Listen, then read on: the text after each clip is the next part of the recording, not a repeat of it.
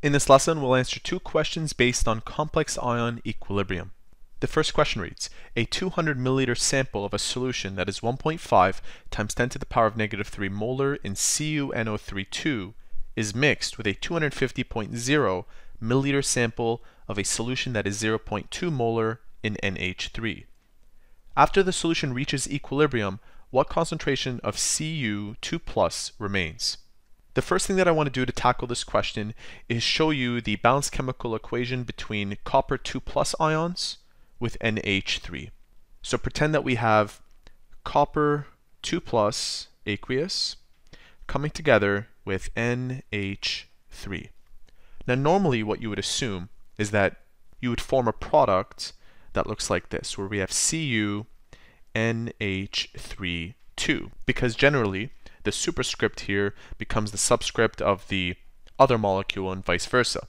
But that's not necessarily the case. In fact, if you take a look at the illustration below, in order for copper 2 plus to be satisfied in a chemical reaction, it needs four molecules of ammonia as shown here. And because of that, we would have to put a subscript of 4 and a charge of 2 plus.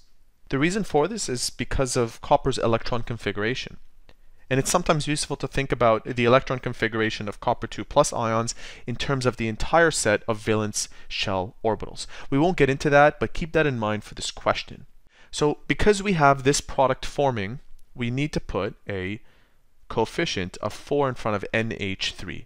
Now, because this is an equilibrium problem, I'll create an ICE table showing the initial change in equilibrium concentrations of each of these molecules. So I'll write down I, C, E. Notice in the question that we are mixing two solutions together. Originally, when it was 250 milliliters of NH3, its concentration was 0.20. But if you're mixing two solutions together, the concentration will obviously change because it's becoming diluted. And you have to factor that in moving forward. So we have 250 milliliters of one solution coming together with 200 milliliters of the other. And now we have a new volume of 450 milliliters. Originally, we had a concentration of NH3 that was 0.20. So 0.20 is the same thing as 0.20 moles per liter. And I'll multiply this by its original volume to get the number of moles. I'll then take the number of moles and divide by this number to come up with its new concentration. So one step at a time, I'll multiply this now by 250 milliliters, and in liters, it's this number. Let's find out what that number is. 0.20 times 0.25 and that's the amount of moles of NH3 originally. We'll divide this by the new volume, 0.4500. That's this number, but in liters. And now the new concentration of NH3 is 0.11 to two significant figures, molar. We have to repeat this process for Cu2+. Remember, in this molecule, we have CuNO3 2, and it breaks down into Cu2 plus plus NO3 minus. Balancing this out, we need a 2 in front of NO3 minus, and it's a 1 to 1 ratio. So I need to find the number of moles of this molecule, and that will represent the number of moles of Cu2 plus. Let's do that on the side. So 0.2000, that's the amount of volume in that first solution, multiply it to its concentration of 1.5 times 10 to the power of negative 3 moles per liter. This and this will cancel out, and we'll get the amount of moles of CuNO3 2. So multiply that by 1.5 times 10 raised to the power of negative 3. That's the amount of moles of CuNO3 2. And since it's a 1 to 1 ratio, that's the amount of moles of Cu2 plus as well. I'll take this number and divide it by the volume of 0.4500.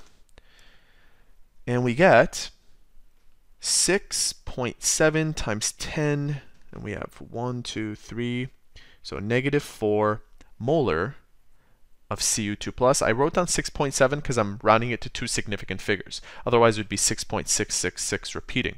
And logically, the initial concentration of this stuff is nothing. So we'll write down 0. Now that we've filled these numbers in, since the equilibrium constant, if you take a look at this table, the formation constant for Cu NH342 plus is shown right here, 1.7 times 10 to the power of 13. So because this equilibrium constant is so large, and since the concentration of ammonia is much greater than the concentration of Cu2+, look at the table here, we have 0.11 versus 6.7 times 10 to the power of negative 4. You can assume that the reaction will be driven to the right, and most of the Cu2 is consumed. And unlike in previous ICE tables where we let x represent the change in concentration in going to equilibrium, here you let x represent the small amount of Cu2 plus that remains when the equilibrium is reached. So I'll write down K sub F for the constant of formation is equal to the concentration at equilibrium for this molecule over the concentration of these two molecules multiplied. And don't forget to raise this to the power of 4 because of this coefficient of 4. As mentioned, most of this will disappear, so I'll say that this is approximately negative 6.7 times 10 to the power of negative 4. This will be 4 times negative 6.7 times 10 to the power of negative 4. And since it's moving to the right, where CuNH34 is being produced, we'll write down 6.7 times 10 to the power of negative 4, but it's positive because these are reactants and we're comparing it to the products, so it's always the negative. So be mindful of that. And the reason why we multiply this by 4 is because of that coefficient 4.